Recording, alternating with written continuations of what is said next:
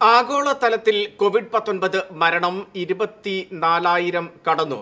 അമേരിക്കയിൽ അതിവേഗത്തിലാണ് രോഗബാധിതരുടെ എണ്ണം പെരുകുന്നത്. എൺപത്തി അയ്യായിരത്തിലധികം പേർക്കാണ് അമേരിക്കയിൽ ഇതുവരെ രോഗം സ്ഥിരീകരിച്ചിരിക്കുന്നത്. വിശദാംശങ്ങളുമായി ഇന്റർനാഷണൽ ഡെസ്കിൽ നിന്നും അഞ്ജു ശശീന്ദ്രൻ ചേരുന്നു. അഞ്ജു ആഗോളതലത്തിൽ അതിവേഗത്തിൽ രോഗബാധിതരുടെയും മരണപ്പെടുന്നവരുടെയും എണ്ണം വർദ്ധിക്കുകയാണ്.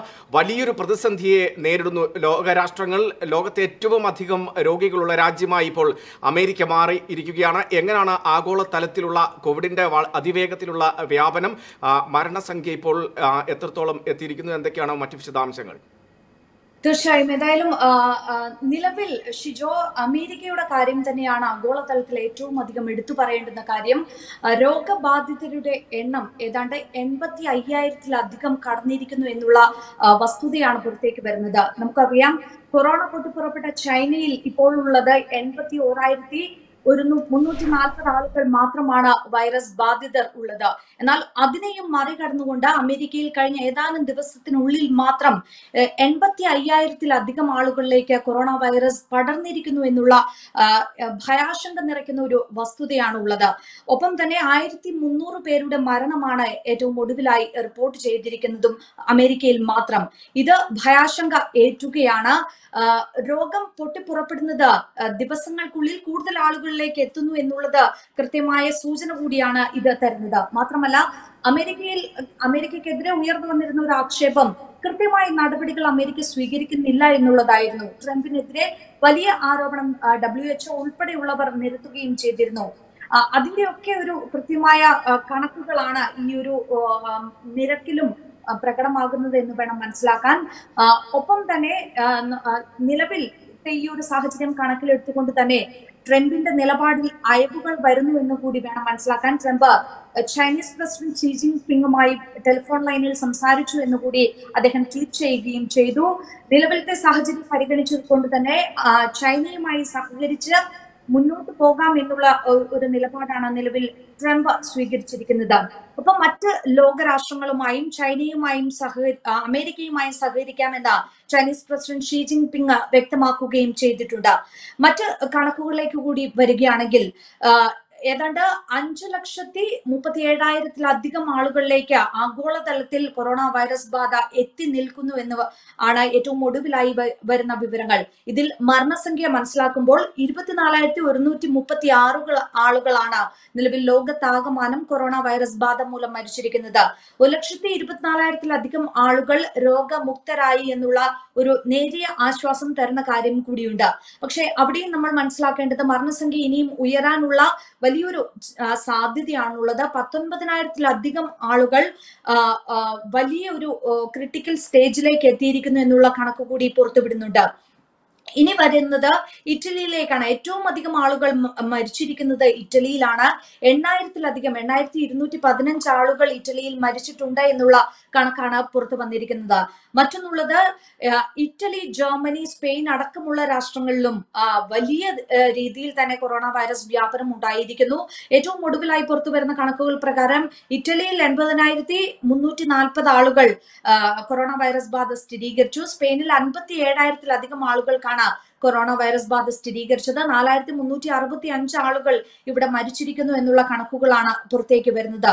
ഇത്തരത്തിൽ ആഗോളതലത്തിൽ ഭയാശങ്ക നിറയ്ക്കുന്ന കണക്കുകളാണ് പുറത്തേക്ക് വരുന്നത്. കൂടുതൽ മുൻകരുതലുകൾ എടുക്കേണ്ടതുണ്ട്. ഇനിയും അതീവ ജാഗ്രത തുടരേണ്ടതുണ്ട് എന്നുള്ളതാണ് ആഗോള തലത്തിൽ നിന്ന് മനസ്സിലാക്കുന്നത് ഷിജു.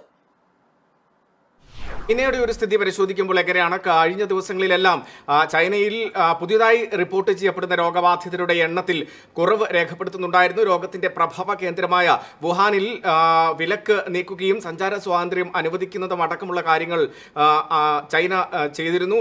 എത്തരത്തിലാണ് ഇപ്പോൾ ചൈനയിൽ നിന്ന് വരുന്ന പുതിയ രോഗബാധിതരുടെ ഒരു കണക്കുകൾ. ആശ്വാസകരമാണോ ഇതിന്റെ നിരക്കുകൾ? തീർച്ചയായും. എന്തായാലും ചൈനയിൽ കഴിഞ്ഞ കുറച്ച് ദിവസങ്ങളിൽ നമുക്കറിയാം രേഖപ്പെടുത്തിയ ഒരു നിരക്ക് എന്നത് വലിയ ആളുകളിലേക്ക് കൂടുതൽ ആളുകളിലേക്ക് വ്യാപിക്കുന്നില്ല എന്നുള്ള ആശ്വാസകരമായ സൂചനകളായിരുന്നു വന്നിരുന്നത്. പക്ഷേ ഈ കഴിഞ്ഞ ദിവസങ്ങളിൽ രോഗം മുക്തി നേടിയവരിൽ കൂടി രോഗം വീണ്ടും കണ്ടിരിക്കുന്നു എന്നുള്ള ഒരു വാർത്തകൾ കൂടി പുറത്തു വരുന്നു. ഒപ്പം അൻപത്തിയഞ്ച് ആളുകളിലേക്ക് മാത്രമാണ് ഇപ്പോൾ പുതിയതായി പുതിയ കേസുകൾ റിപ്പോർട്ട് ചെയ്തിരിക്കുന്നത് എന്ന് കൂടി ചൈനയിൽ നിന്ന് വരുന്ന വാർത്തയിൽ നിന്ന് മനസ്സിലാക്കാം.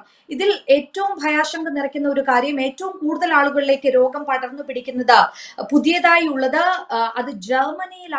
എന്നുള്ള ഒരു കണക്കാണ് അറിയാൻ കഴിയുന്നത്. ഏതാണ്ട് മൂവായിരത്തി മുന്നൂറ്റി നാൽപ്പതോളം കേസുകളാണ് കഴിഞ്ഞ ഇരുപത്തിനാല് മണിക്കൂറിനുള്ളിൽ മാത്രം ജർമ്മനിയിൽ റിപ്പോർട്ട് ചെയ്തത്. മരണസംഖ്യ അവിടെ ഇരുന്നൂറ്റി എൺപത്തി ഒന്നാണ് കാണിക്കുന്നത്. ഒപ്പം നാൽപ്പത്തിരണ്ടായിരത്തി ഇരുന്നൂറ്റി എഴുപത്തിരണ്ട് ആളുകളിലാണ് നിലവിൽ കൊറോണ വൈറസ് ബാധ ജർമ്മനിയിൽ സ്ഥിരീകരിച്ചത്. ഈ കണക്കുകൾ ഏറ്റവും ഒടുവിലായി വരുന്ന റിപ്പോർട്ടുകൾ പ്രകാരം വരും ദിവസങ്ങളിൽ ഒരു പക്ഷേ വലിയ രീതിയിലുള്ള മരണസംഖ്യ ഉയരാനുള്ള സാഹചര്യം കൂടുതൽ ആളുകളിലേക്ക് വ്യാപിക്കാനുള്ള സാഹചര്യം ജർമ്മനിയിലും കാണിക്കുന്നുണ്ട്. പുതിയ മരണ നിരക്കുകളൊന്ന് പരിശോധിക്കുമ്പോൾ ജർമ്മനിയിൽ തന്നെയാണ് ഏറ്റവും കൂടുതൽ ആളുകൾ ഈ കഴിഞ്ഞ മണിക്കൂറുകളിൽ മരിച്ചിരിക്കുന്നത് എന്നുള്ള കണക്കുകളാണ് മനസ്സിലാക്കുന്നത്. പതിനാല് പേരാണ് ഈ ഇരുപത്തിനാല് മണിക്കൂറിനുള്ളിൽ ജർമ്മനിയിൽ മരണസംഖ്യ റിപ്പോർട്ട് ചെയ്തിരിക്കുന്നത്. ഒപ്പം അമേരിക്കയിൽ പുതിയതായി ആറു പേരുടെ മരണം ചൈനയിൽ അഞ്ചു പേരുടെ മരണം ഒപ്പം തന്നെ സൗത്ത് കൊറിയയിൽ എട്ട് പേരുടെ മരണം എന്നിങ്ങനെയാണ് റിപ്പോർട്ട് ചെയ്തിരിക്കുന്നത്. നമുക്കൊരു കണക്കുകൾ പതിനായിരത്തിന് മുകളിലേക്ക് രോഗബാധിതർ എത്തി നിൽക്കുന്നവരുടെ ഒരു കണക്ക് മനസ്സിലാക്കുമ്പോൾ U K Switzerland France Iran തുടങ്ങിയ രാജ്യങ്ങളിലാണ് ഏറ്റവും അധികം ആളുകളുടെ ആളുകളിൽ കൊറോണ വൈറസ് ബാധ സ്ഥിരീകരിച്ചിരിക്കുന്നത്.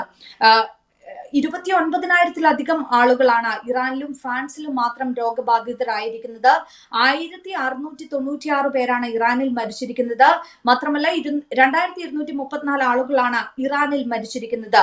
ഇത്തരത്തിൽ മരണസംഖ്യകൾ ഉയർന്നു കൂടുതൽ കൊറോണ വൈറസ് ബാധിതരുടെ എണ്ണം ഉയർന്നു എന്നതടക്കമുള്ള കാര്യങ്ങളാണ് പറയാനുള്ളത്. അഞ്ജു ശശീന്ദ്രനാണ് വിശദാംശങ്ങൾ നൽകിയിരിക്കുന്നത്. ആഗോളതലത്തിൽ നൂറ്റി തൊണ്ണൂറ്റി അഞ്ചിലധികം രാജ്യങ്ങളിലായി കോവിഡ് ബാധിതരുടെ എണ്ണം അതിവേഗത്തിൽ വർദ്ധിക്കുന്നു. മരണവും സമാനമാം വിധത്തിൽ അതിവേഗത്തിൽ ഉയരുകയാണ്. കാൽ ലക്ഷത്തോളം മരണങ്ങൾ ഇതിനകം റിപ്പോർട്ട് ചെയ്യപ്പെട്ടിരിക്കുന്നു. കോവിഡിന്റെ പുതിയ കേന്ദ്രമായി അമേരിക്ക മാറിയിരിക്കുന്നു എന്നുള്ളതാണ് ഏറ്റവും ഒടുവിലായി ലഭ്യമാകുന്ന വിവരങ്ങൾ. എൺപത്തി അയ്യായിരത്തിലധികം ആളുകൾക്ക് അമേരിക്കയിൽ ഇതുവരെ കോവിഡ് സ്ഥിരീകരിച്ചു കഴിഞ്ഞിരിക്കുന്നു. മറ്റ് ലോകരാജ്യങ്ങളിലും കോവിഡ് ബാധിതരുടെ എണ്ണം അതിവേഗത്തിൽ വർദ്ധിക്കുന്ന ഭയാനകമായ ഭീതിതമായ ഒരു പശ്ചാത്തലത്തിലേക്ക് കാര്യങ്ങൾ നീങ്ങുന്നു എന്നുള്ളതാണ് കണക്കുകൾ വ്യക്തമാക്കുന്നത് ജനങ്ങൾക്കൊപ്പം വാർത്തയ്ക്കൊപ്പം നന്മയോടൊപ്പം N T V U A to the world.